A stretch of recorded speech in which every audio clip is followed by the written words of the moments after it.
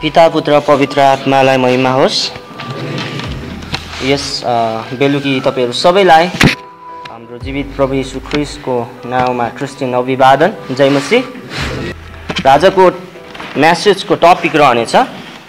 परम प्रभु परमेश्वरमा हाम्रो स्थान अथवा हाम्रो औकात र हाम्रो उद्देश्य। दोस्रो कुरन्ती सात अध्याय। दोस्रो कुरन्ती सात अध्यायको एक पद। यहाँ लेख- यसरी लेखिएको छ। यसकारण हे प्रिय हो हामीसित यी प्रतिज्ञा भएको हुनाले शरीर र आत्माको हरेक किसिमको अशुद्धताबाट हामी आफैलाई शुद्ध पारौँ र परमेश्वरको भयमा पवित्रतालाई सिद्धतातर्फ बढाउँदै जाउँ। आमेन। फेरि म पढ्नेछु। यसकारण हे प्रिय हो हामीसित यी प्रतिज्ञा भएका हुनाले शरीर र आत्माको हरेक किसिमका अशुद्धताबाट हामी आफैलाई शुद्ध पारौँ र परमेश्वरको भयमा पवित्रतालाई सिद्धतातर्फ बढाउँदै जाउँ। हाम्रो औकात र हाम्रो उद्देश्य। हामी को हौँ यहाँनिर पावलले कोरिन्थको विश्वासीहरूलाई भन्दछ। कोरिन्थ यस्तो ठाउँ जहाँनिर एकदमै इमोरालिटी भनेको अशुद्धता र पापहरू फैलिएको ठाउँ जहाँ पावल पुग्छन्। र सुसमाचार प्रचार गर्छन्। सुसमाचार प्रचार गरे बापत उसले मण्डल स्थापना गर्छन् र त्यस पछाडि अर्को ठाउँमा मुभ हुन्छन्।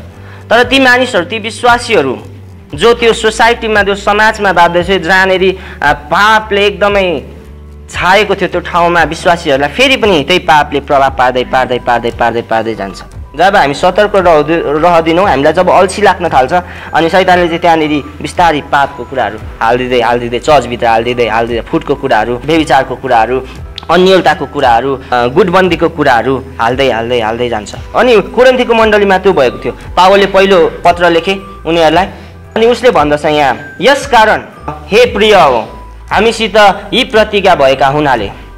यस कारण प्रतिज्ञा भएको हुनाले यी प्रतिज्ञा कुन प्रतिज्ञा हामीसँग भएको थियो? कुन प्रतिज्ञा?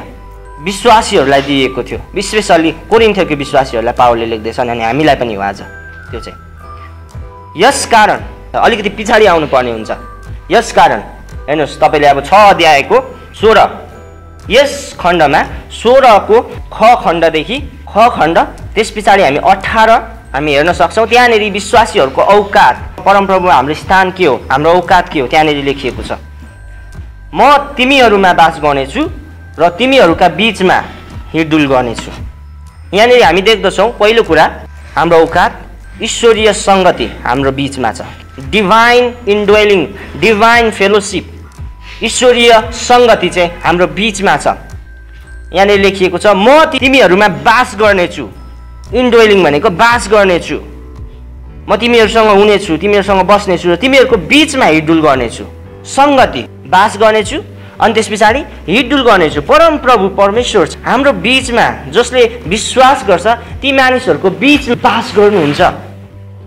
अनि भनिन्छ पवित्र आत्मा हामीमा बास गर्नुहुन्छ। अनि परमप्रभु परमेश्वर हाम्रो बिचमा बास गर्नुहुन्छ। हामीमा हुनुहुन्छ अनि हाम्रो बिचमा पनि बास गर्नुहुन्छ। उहाँको मानिसहरूको बिचमा बास गर्नुहुन्छ। त्यस पछाडि दोस्रो कुरा उहाँ हिडडुल गर्नुहुन्छ। अनि हामी विभिन्न डाइरेक्सनतर्फ विभिन्न तरिकाले हिँडिरहेको हुन्छौँ। परमप्रभु हाम्रो साथमा हुनुहुन्छ। त्यसको मतलब परमप्रभुले त्यो ईश्वरीय सङ्गति हामीलाई आज दिनुभएको छ। त्यो सङ्गति थियो अदनको बगैँचामा। अदनको बगैँचामा परमप्रभु परमेश्वर आदम र हब्बासँग सधैँ सँगै हुनुहुन्थ्यो।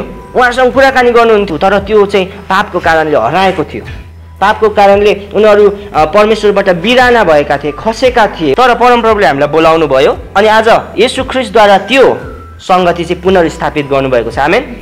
यसु ख्रिस्टद्वारा त्यो सङ्गति जुन सङ्गति टुटेको थियो त्यो सङ्गति ईश्वरीय सङ्गति चाहिँ यसु ख्रिस्टद्वारा परमेश्वरले हामीसँग स्थापित गर्नुभएको छ अनि आज उहाँ हाम्रो बास गर्नुहुन्छ अनि हिडुल गर्नुहुन्छ। त्यसले चाहिँ ईश्वरीय सङ्गति। पहिलो कुरा हामीसँग त्यो प्रतिज्ञा छ। तपाईँ र मेरो बिचमा चाहिँ परमप्रभु परमेश्वर हुनुहुन्छ। दोस्रो कुरा।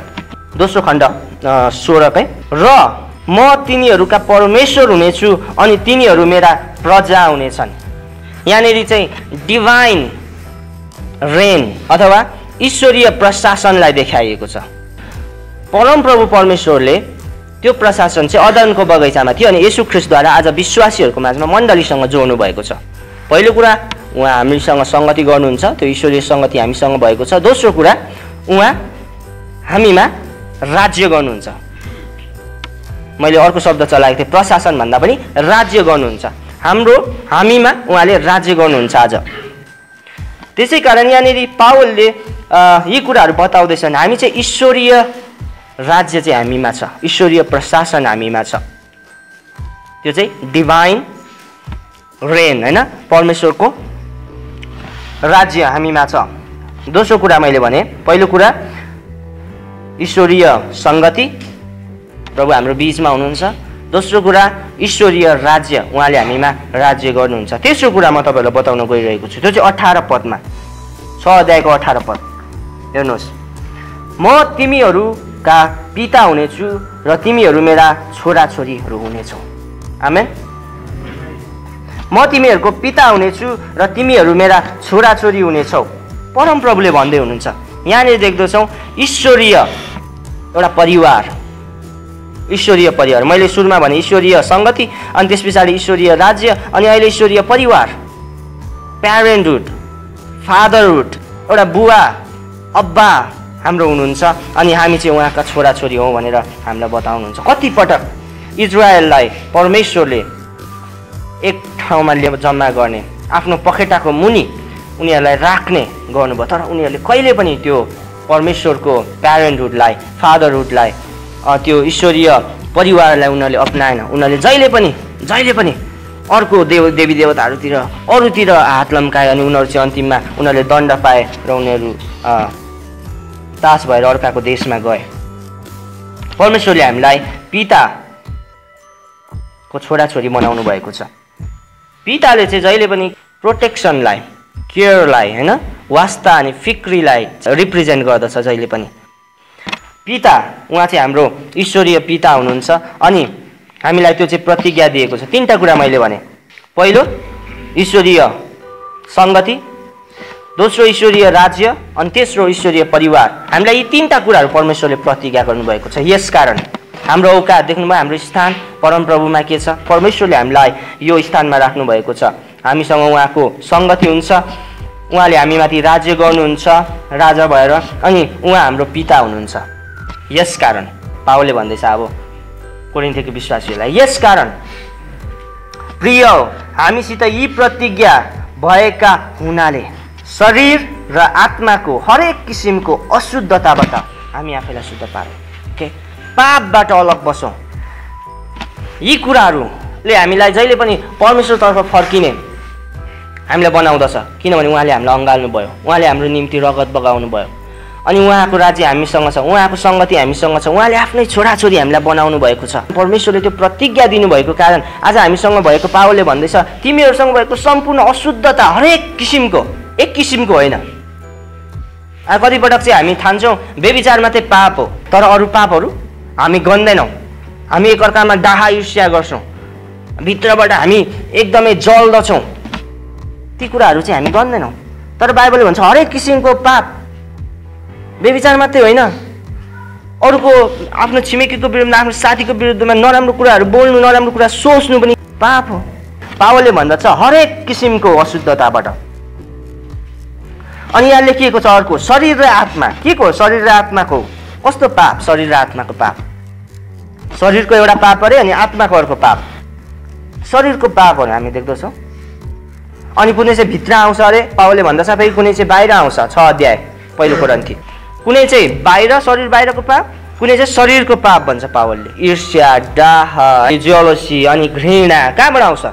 भित्रबाट बाहिर निस्किन्छ नि। अनि पावले भन्छ बेबिचार त्यो चाहिँ हाम्रो शरीरको विरुद्धमा हामीले गर्छौँ। यहाँनिर पावले अर्को कुरा थप्छ आत्माको विरुद्धमा पाप। के हो त्यो? कसरी हामीले आत्माको आफ्नै आत्माको विरुद्धमा पाप गर्छौँ?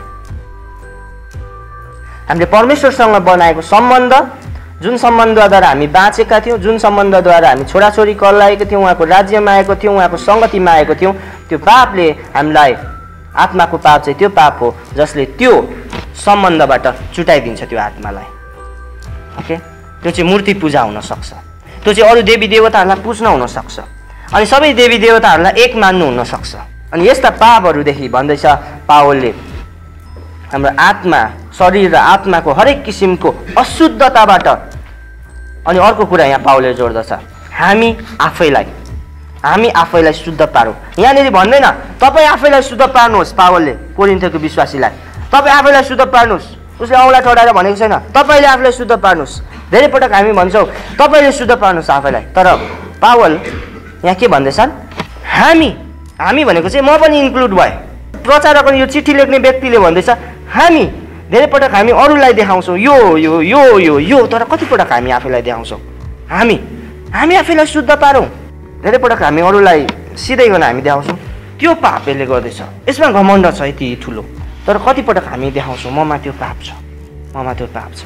हामीले आफैलाई देखाउन आवश्यक छ हामीले आफैलाई हेर्न आवश्यक छ हामी सबैलाई इन्क्लुड गर्न हामीले आवश्यक छ हामी पापीहरू हौँ तर अनि त्यसै कारण पावलले हामी आफैलाई भन्ने शब्द कति सजिलो भन्न सक्थ्यो पावलले होइन तपाईँहरू आफैलाई शुद्ध पार्नुहोस् सबै किसिमको पापबाट हरेक किसिमको पापबाट पावलले भन्दैछ हामी आफैलाई पावल मेरो विचारमा मैले यसु ख्रिस्ट त पवित्र हुनुहुन्थ्यो परमेश्वर हुनुहुन्थ्यो यसु ख्रिस्ट पछि यदि कसैलाई म पवित्र ठान्थेँ भने यो संसारमा त्यो चाहिँ पावल थिएँ तेह्र तेह्रवटा पत्र लेखेँ। अनि के गर्नुपर्छ के गर्नु हुँदैन के गर्नुपर्छ विश्वासी भएर कसरी जिउनुपर्छ व्यवस्थाअनुसार निष्कलङ्क भन्छ आफैलाई उसले। तर उसले के भन्दैछ? हामी आफैलाई शुद्ध पारौँ। अनि पावलले अचम्मको कुरा अर्को पदमा भन्छ। यसु ख्रिस्ट पापीहरूको निम्ति आउनुभयो।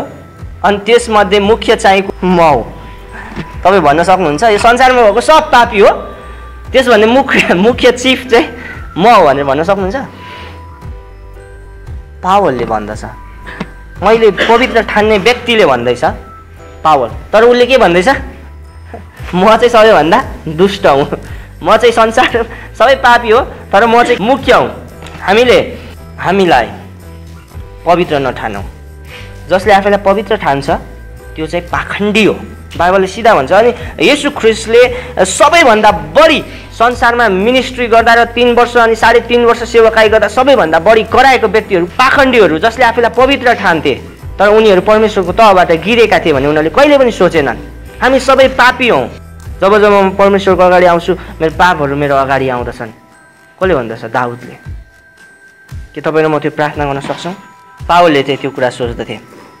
अनि हामीले यो कुरालाई जानिराख्न आवश्यक छ। हामी सबैजना पापी हौँ। हामी आफैलाई शुद्ध पार्न आवश्यक छ। रवि जकराया मेरो one of the best Christian minister apologist अनि राइटर उसले बताउँदछ हामीले बाहिरको दुष्टतालाई हेरेर सधैँ अचम्म मान्नु पर्दैन। कति पापको कुरा भइरहेको संसारमा। उसले भन्दछ रवि जकराले भन्छ हामी बाहिरको दुष्टतालाई हेरेर सधैँ अचम्म मान्नु पर्दैन तर आफूभित्र भएको दुष्टतालाई हेर्दा पनि हामी अचम्ममा पर्छौँ। ओके बाहिरको हेरिराख्न आवश्यक छैन तपाईँ आफ्नै हृदयलाई हेरौँ म आफ्नै हृदयलाई हेर्छु। कति दुष्टता यहाँभित्र छ। हामी आफैलाई थाहा छ है भित्र। हामी भित्र पवित्र पवित्र पवित्र बोल्छौँ तर भित्र हामी धेरै कुराहरू हामीमा छ। त्यो चाहिँ हामीलाई मात्रै थाहा छ। तपाईँ र म भित्र दुष्टता छ। तपाईँ र म भित्र दुष्टता छ। तपाईँले अर्को पर्सनलाई भनेर पोइन्ट आउट गरिराख्न आवश्यक छैन। तपाईँ र म भित्र भएको दुष्टता नै काफी छ अचम्ममा पर्न। अनि संसारमा भइरहेको सम्पूर्ण यो कोलाहलपूर्ण समस्या चाहिँ त्यसकै परिणाम हो। अनि यहाँ बताउँदछ हामी आफैलाई शुद्ध पारौँ अनि हामी त्यो प्रोसेसमा छौँ। र परमेश्वरको भयमा पवित्रतालाई सिद्धतातर्फ बढाउँदै जाउँ। हामी पवित्रतालाई सिद्धतातर्फ बढाउँदै जाने भन्ने कुरा चाहिँ प्रोसेस हो। बढाउँदै जाने भन्ने कुरा चाहिँ प्रोसेस हो। यो चाहिँ एकैचोटि चुट्की बजाए पछाडि भएको कुरा होइन। हामी स्वर्गदूत हुन सक्दैनौँ। हामी मानिस हौँ हामी मानिस नै रहनुपर्छ अनि यो चाहिँ पवित्रतातर्फ बढ्ने कुरा अनि सिद्धतातर्फ बढ्ने कुरा चाहिँ एकचोटिको कुरा होइन दुईचोटिको कुरा होइन यो चाहिँ निरन्तर हाम्रो मृत्युसम्म भइरहने कुरा हो पावलले सुरुमा हामीलाई हामी को भन्ने कुरा याद दिलाए हामीसँग ईश्वरीय सङ्गति छ हामीसँग ईश्वरीय राज्य छ अनि हामीसँग ईश्वरीय प्यारेन्टहुड अथवा प परिवारपना छ अनि पिता उहाँ हुनुहुन्छ अनि हामी उहाँका छोराछोरी हौँ। हाम्रो औकात त्यो हो। यसकारण हाम्रो लक्ष्य चाहिँ के हो? उद्देश्य चाहिँ के हो हाम्रो जीवनको? पवित्रतातर्फ बढ्दै जाने। हामी कोही पनि पर्फेक्ट छैनौँ। हामी पापी छौँ। हामीमा विभिन्न किसिमका पापहरू छन् अनि अब यी प्रतिज्ञाहरू तिमीसँग भएको कारण तिमीहरू चाहिँ क्रुसलाई हेरेर पवित्रतातर्फ बढ्दै जाऊ बढ्दै जाऊ अनि बढ्दै जाऊ। आमेन। प्रभुले हामीलाई आशिष दिनुभएको होस्। हामी कसैलाई औँला ठुराउन नसकौँ तर हामी आफैलाई हेरौँ। हाम्रो भित्र रहेको ती पापहरू हामी जान्दछौँ ती के हुन्? अनि ती चाहिँ हामी प्रभुको चरणमा जाउँ तीसँग। प्रभुलाई भनौँ म यो हुँ प्रभु। वास्तवमा म यो हुँ। मलाई क्षमा गर्नुहोस् मलाई परिवर्तन गर्नुहोस्। अनि प्रभुले हरेक दिन हरेक दिन हामीलाई हरेक दिन हामीलाई परिवर्तन गर्नु यसको लागि तपाईँलाई एक वर्ष लाग्ला परिवर्तन दुई वर्ष लाग्ला तपाईँलाई तिन वर्ष लाग्ने तपाईँको जीवन बित्नेछ। अनि प्रभुले हेर्नुहुन्छ। यस म तेरो पिता हुँ। म तसँग बास गर्नेछु। इभन हामी पापी छौँ। अनि परमेश्वरले नै हामीलाई सहायता गर्नुहुन्छ उहाँको सिद्धतातर्फ बढ्दै बढ्दै अनि बढ्दै जान। प्रभुले हामी सबैलाई आशिष दिनुभएको होस्। आउनुहोस् हामी समय मौन रहौँ हामी प्रभुको चरणमा आउँ। र हामी प्रार्थना गर्नेछौँ यस समय। प्रभुलाई भनौँ धन्यवाद। प्रभु तपाईँले हामीलाई ईश्वरीय सङ्गति दिनुभएको छ। अनि त्यो अदनको बगैँचामा जसरी आदम र हब्बा तपाईँको सङ्गतिमा रमाउँथे आज यसु ख्रिस्टद्वारा त्यो सङ्गति कायम गर्नुभएको छ। अनि आज हाम्रो तपाईँको राज्य हाम्रो बिचमा आएको छ। तपाईँले हामीलाई शासन गर्नुहुन्छ हामी माथि। अनि तपाईँले हाम्रो पिता हुनुहुन्छ। यी तिनवटा प्रतिज्ञाहरू तपाईँले हामीलाई दिनुभएको छ। यसकारण आज हामी प्रभु पापी नै भए पनि हामी तपाईँको शुद्धतातर्फ पवित्रतातर्फ बढ्दै जान सकौँ भने हामी प्रार्थना गर्छौँ। हामी जान्दछौँ हामी भित्र भएका प्रत्येक ती पापहरू हामी जान्दछौँ। प्रभु हामी कतिपटक धेरै दुखी हुन्छौँ। हाय हामीलाई कसले यो पापबाट हामीलाई अलग गर्न सक्छ? तर पवित्र आत्मा तपाईँ हामीमा हुनुहुन्छ जसले हामीलाई सहायता गर्नुहुन्छ। हामी सबैलाई अनि तपाईँको पवित्रतातर्फ बढ्नको निम्ति प्रभु एकअर्कालाई दोस्याउँदैन तर प्रभु आफैलाई हेरेर अनि तपाईँ प्रभु ख्रुसलाई हेरेर हाम्रा पापहरूलाई पखाल्दै परिवर्तन हुँदै परिवर्तन हुँदै अगाडि बढ्नको निम्ति हामीलाई सहायता शक्ति सामर्थ्य दिनुहोस्। हामी आफै यो कुरा गर्न सक्दैनौँ। तर तपाईँको आत्माद्वारा नै यो सम्भव छ भने हामी जान्दछौँ। न त बलले न शक्तिले तर तपाईँको आत्माले यो कुरा गर्न सक्छ हामी जान्दछौँ।